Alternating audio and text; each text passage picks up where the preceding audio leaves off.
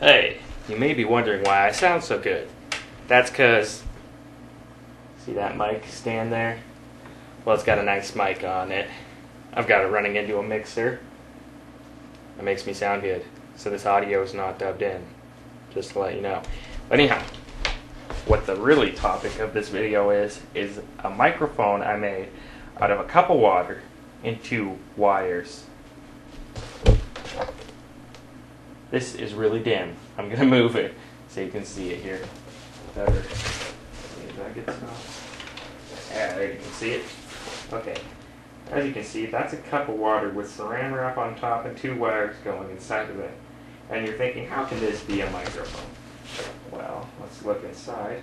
I'm using a webcam, so it's kind of hard to use this here. Good. Can you see? All right. Well, can't really see it all that well, but the black wire runs down to the bottom of the cup, where it's attached to a small plate. The red wire is attached to the diaphragm on top, and I realize this can be much better built and sound a lot better.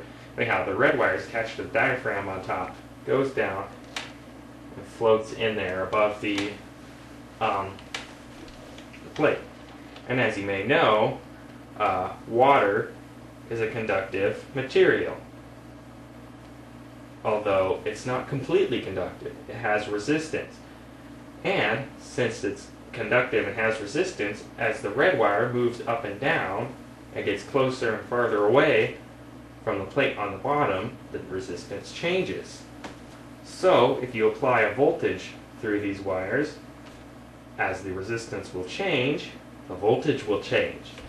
So that's why you hook it up to a mixer. And the mixer and uh, modern microphones, actually not necessarily modern, just microphones, have this cable. This cable here, well, you can't really see it because it's really dark in here. But the cable is called an XLR cable. And you can press this handy button on your mixer here, if you've got one. Mine's right there. It says 48 volts plus. Sometimes it'll say phantom power. And that sends 48 volts through these wires. So when I hook up this microphone, I stick these two wires in the phantom power plugs.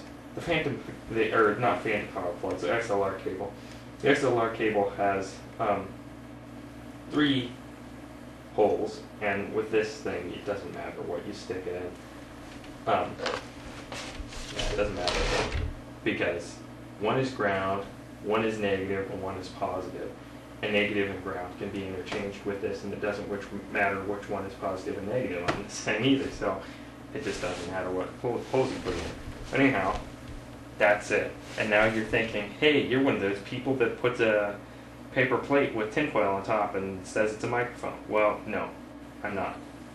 Um, this is this is real. This works. I mean, it's very low quality. It sounds like you're from the 1900s or something when you record with it.